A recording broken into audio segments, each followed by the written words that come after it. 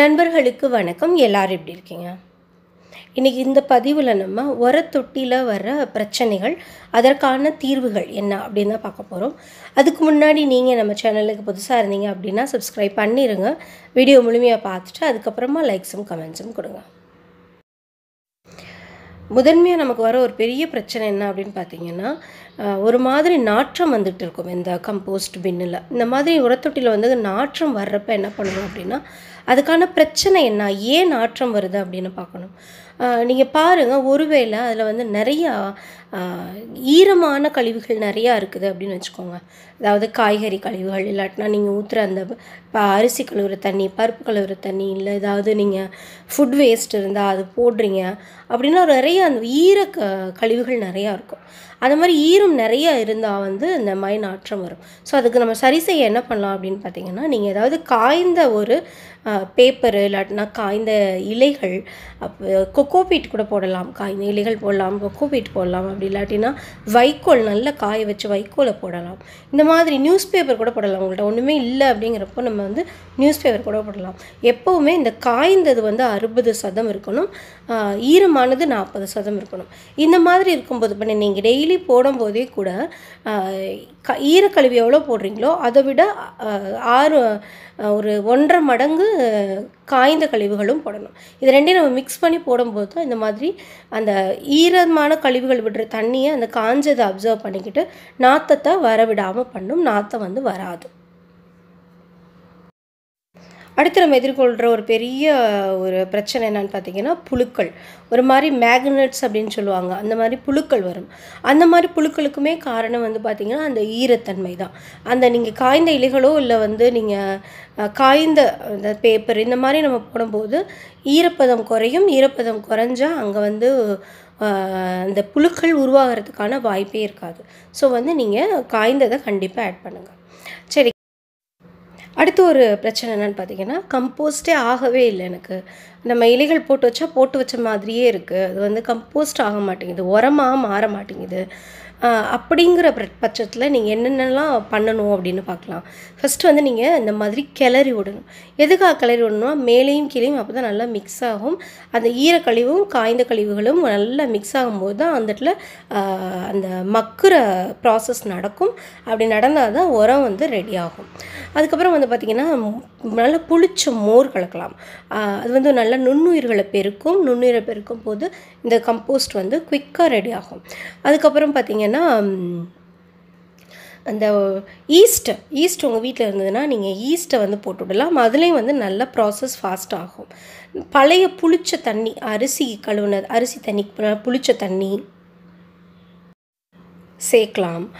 இந்த மாதிரி நம்ம ஏதாவது ஒன்று ஈரம் அதாவது இந்த நுண்ணீர் நுண்ணுயிர் பெருக்கிறதுக்கு பெருக்கிறதுக்காக நம்ம ஏதாவது கொடுத்துட்டே இருக்கும்போது அந்த ப்ராசஸ் வந்து ரொம்ப ஃபாஸ்ட்டாக நடக்கும். அப்படி ஃபாஸ்ட்டாக நடக்கும்போது நமக்கு வந்து உரம் வந்து கூடவே சீக்கிரமாக கிடைக்கும். ஒரு மூணு மாதத்தில் கிடைக்கிற உரம் வந்து பார்த்திங்கன்னா ஒரு ரெண்டரை மாதத்துலேயே உங்களுக்கு கிடைச்சிடும் அடுத்த பெரிய பிரச்சனை எறும்புகள். நம்ம என்னதான் போட்டு வச்சாலும் என்னதான் நம்ம ஹார்ட் ஒர்க் பண்ணாலும் எறும்பு கொய கொய கொயன்னு வந்து ரொம்ப டார்ச்சராக இருக்கும். நம்மளால் கிளறி விடவும் முடியாது. பட் எறும்புகள் ஒன்றும் பண்ணாது. பட் வந்து இந்த உரத்தை நம்ம இன்னொரு பிளான்ட்டுக்கு போடும்போது அங்கே எறும்பு போகும் அங்கே எறும்பு போச்சுன்னா அந்த பிளான்ட்டை வீணாக்கும்.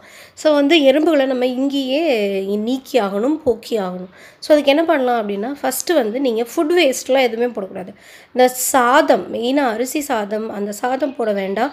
அதோட தண்ணி மட்டும் ஊற்றுங்க சாதம் போடாதீங்க. எந்த ஃபுட் வேஸ்ட்டுமே போடாதீங்க.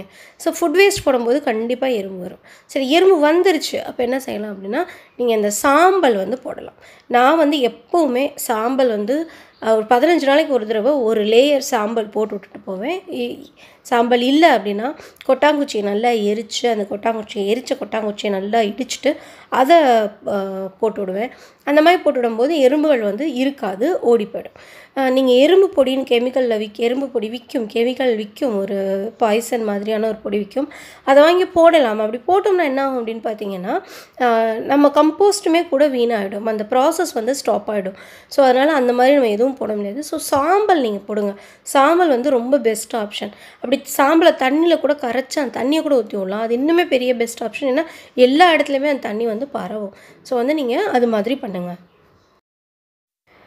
அப்புறம் நம்ம எதிர்நோக்கிற இன்னொரு ஒரு பெரிய பிரச்சனை வந்து பார்த்திங்கன்னா சூடாயிரும் கம்போஸ்ட் பின் கம்போஸ்ட் பின் சூடாகும் போது நுண்ணுயிர் பெருக்கம் இருக்காது. அப்பையும் வந்து கம்போஸ்ட் வந்து ரெடி ஆகாது. சூடாகிறதுக்கு என்ன காரணம்னா நிறைய வந்து நம்ம அந்த ஈஸ்ட் மாதிரி நிறைய ஆயிடுச்சு அப்படின்னா ரொம்ப சூடாயிரும் உள்ள அதுக்கப்புறம் பார்த்திங்கன்னா ட்ரை இன்க்ரீடியண்ட் வந்து நிறைய ஆயிடுச்சு. அதாவது காய்ந்த இலைகள் இதெல்லாம் ரொம்ப நிறைய போட்டோம் அப்படின்னா அப்பயும் வந்து அங்கே ஒரு ட்ரைனஸ் இருக்கும். அங்கே வந்து சூடு சூடாகும் சூடாச்சுன்னா அந்த நுண்ணுயிர் பெருக்கம் இருக்காது. ஸோ அதுக்கு என்ன பண்ணலாம் அப்படின்னா நீங்கள் நல்ல நிறைய துளைகள் போட்டு விடலாம். சைடில் ஃபுல்லாக நிறைய துளைகள் போட்டு விடலாம். நான் வந்து கீழே மட்டும்தான் துளைகள் போட்டிருக்கேன். சைடில் வந்து துளைகள் போடலை. கீழே மட்டும்தான் போட்டிருக்கேன். ஸோ அது நல்லா தண்ணி ஊற்றி விடலாம். நம்ம டெய்லி தண்ணி தெளிச்சு விடும்போது அது வந்து அந்த ஒரு சூடு குறையும். சூடு குறைஞ்சா அந்த நுண்ணுயிர் பெருக்கமும் நல்லா ஃபாஸ்ட்டாகவும் ஆகும். நல்லா ஜாஸ்தியாகும். ஈவன் ரொம்ப சீக்கிரமாக அந்த கம்போஸ்ட் வந்து ரெடி ஆகிடும் நீங்கள் வந்து அரிசி கழுவின தண்ணியை வந்து ஊற்றலாம் நீங்கள் இல்லை பருப்பு கழுவின தண்ணி மீன் கழுவின தண்ணி இது மாதிரி ஏதாவது ஒரு தண்ணி கொடுத்துட்டே இருக்கலாம். இல்லை நார்மலாக இருக்கிற தண்ணியை வந்து நம்ம தண்ணி ஊற்றிட்டே இருக்கலாம். தண்ணி ஊற்றிட்டே இருக்கும் போதும் வந்து பார்த்திங்கன்னா உங்களுக்கு அந்த சூடு இருக்காது. சூடு இல்லைன்னா நுண்ணீர் பெருக்கம் ஜாஸ்தி ஆகும் ஜாஸ்தி ஆகும்போது கம்போஸ்ட் வந்து சீக்கிரமாக ரெடி ஆகிடும் இந்த கம்போஸ்ட் அப்படிங்கிற அந்த ப்ராசஸ்க்கு வந்து பார்த்திங்கன்னா ரொம்ப முக்கியம். மண் மண் மண் கொஞ்சமாவது இருக்கணும். மண் கொஞ்சமாவது இருந்தால் தான் அந்த ப்ராசஸ் வந்து ரொம்ப குவிக் ஆகும். அதே மாதிரி நம்ம அந்த தொழு உரமும் கண்டிப்பாக வந்து ஆட் பண்ணணும். இந்த தொழு உரமும் மண்ணும் நம்ம ஆட் பண்ணும்போது ஆக்சுவலாக பார்த்திங்கன்னா இது கிடைக்கவே கிடைக்காது. நமக்கு மண்ணும் இந்த தொழு உரமும் கிடைக்கிறதா பெரிய விஷயமா இருக்கும். எனக்கு வந்து மண் கிடைக்கிறது ரொம்ப பெரிய விஷயமா இருக்கும். ஸோ கிடைக்கிற மண்ணை வந்து எவ்வளோ கிடைக்குதோ அதை வந்து நீங்கள் போட்டுவிடுங்க. அட்லீஸ்ட் ஒரு பதினஞ்சு நாளைக்கு ஒரு தடவையாவது நம்ம மண் போட்டுகிட்டே இருந்தால் தான் மண்ணோடு சேரும்போது தான் அந்த நுண்ணீர்கள் நல்லா ஆக்டிவேட் ஆகி நல்லா வளரும். அப்படி நல்லா வளரும் போது அந்த உரமும் நல்லா ரெடி ஆகும். ஸோ எப்படியாவது பக்கத்துலேருந்து எடுத்துகிட்டு வந்து மண் வந்து நீங்கள் கண்டிப்பாக ஆட் பண்ணுங்கள் அதோடய கூட கொஞ்சம் தொழு உரம் ஆட் பண்ணுங்கள் இந்த தொழு உரத்துலேயும் நிறைய நுண்ணுயிர்கள் இருக்கும். சும்மா கொஞ்சமாக இன்னொரு ஒரு பெரிய பிரச்சனை வந்து இந்த பீஸ்லாம் வந்து இதுக்கு மேலே சுற்றிக்கிட்டே இருக்கும். ஏதாவது பூச்சிகள் வந்து வந் வந்துக்கிட்டே இருக்கும் இந்த கம்போஸ்ட் பின் மேலே வந்துகிட்டே இருக்கும். ஸோ நீங்கள் பட்டர்ஃப்ளைஸ் கூட வரும். பட்டர்ஃப்ளைஸ்லாம் வந்து பார்த்திங்கன்னா பழசை தான் சாப்பிடும். வீணாக போனதை தான் சாப்பிடும். ஸோ வந்து நீங்கள் இந்த மாதிரி ஓப்பனாக விட்டுட்டோம் அப்படின்னா கம்போஸ்ட் பின்னை ஓப்பனாக விட்டோம்னா நிறைய பூச்சிகள் வரும். ஒரு முட்டை போடும். முட்டை போட்டுச்சுன்னா அடுத்து நம்ம இந்த கம்போஸ்ட் எடுத்து நம்ம செடிகளுக்கு போடும்போது அந்த செடிகள் வேர்க்குள்ளே ம பூச்சிகள் வந்து போயிடும். ஸோ எப்போவுமே நம்ம வந்து கம்போஸ்ட் பின்னை மூடி வச்சுருக்கணும். ப்ராப்பராக மூடி வச்சுருக்கணும். இதுக்கு முன்னாடி ஒரு சாக்கு போட்டு மூடி வச்சுருந்தேன். அந்த சாக்கு வந்து அப்படியே மக்க ஆரம்பிச்சிருச்சு. மக்கி அந்த பிளாஸ்டிக் பிளாஸ்டிக்காக அப்படியே உதிர ஆரம்பிச்சிருச்சு. ஸோ அதை எடுத்துகிட்டு இப்போ வந்து இதை போட்டு மூடி வச்சுருக்கேன். எதையாவது போட்டு மூடி வைக்கணும் அப்படிங்கிறது ரொம்ப முக்கியம். ஏதாவது பழைய வேஷ்டி இப்படி இல்லாட்டினா ஏதாவது பழைய துணியை வச்சு கூட கட்டி விடலாம். ஸோ எவ்வளோ சின்ன பே பின்னாக இருந்ததுன்னா சின்னதாக ஈஸியாக வந்து கட்டிடலாம். இப்போ எனக்கு வந்து பெருசாக இருக்கிறதுனால நான் அந்த மாதிரி பிளாஸ்டிக் ஷீட் போட்டு அதுக்கு மேலே வெயிட் வச்சிடறேன். ஏன்னா காற்று இப்போ ரொம்ப பயங்கரமாக அடிக்குது. ஸோ இந்த மாதிரி வெயிட் வச்சிட்டோம் அப்படின்னா எந்த பூச்சியோ புழுக்களோ வெளியே இருந்து உள்ளே போகாது. அப்படி உள்ளே போகாத போது அந்த முட்டையும் போடுறத நம்ம தவிர்க்கலாம்.